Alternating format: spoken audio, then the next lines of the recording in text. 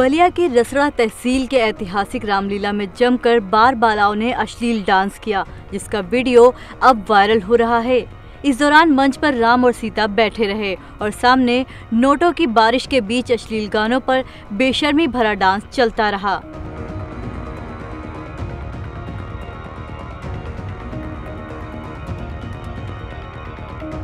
Video में आप साफ़ देख सकते हैं कि मंच के सामने पुलिस वाले भी मौजूद हैं और रामलीला के मंच पर अश्लीलता का तड़का लगाया जा रहा है। वहीं हिंदू जागरण मंच ने इसका विरोध किया है।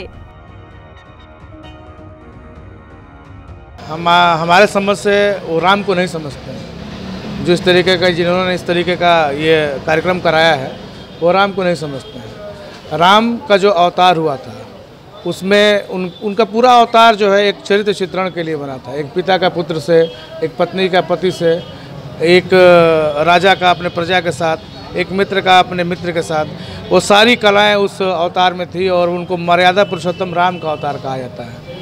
लेकिन दुर्भाग्य का विषय है कि जो लोग रामलीला कराए हैं और ये जो रामलीला समिति के लोग हैं, इन्होंने यदि इस तरीके का कुकृत्य किया है तो यह बहुत ही निंदनीय है और यह समाज को गलत मैसेज दे रहा है। मैं इसकी घोर निंदा करता हूँ। ये रामलीला कहाँ पे हुई है और कितने वर्षों पुरानी परंपरा है ये सुनने में आ रहा है कि रचना की रामलीला है और यह इस इस रामलीला का अपना एक महत्व है। वहाँ का भरत मिलाप आज भी बहुत फ़ेमस है और वहाँ का रामलीला भी बहुत फ़ेमस है। और लग रहा है कि यह रामलीला कुछ गलत लोगों के हाथों में चली गई है।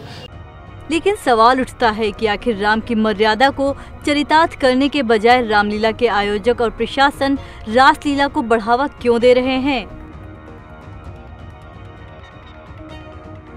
बलिया से न्यूज़ के लिए मुकेश मिश्र की रिपोर्ट।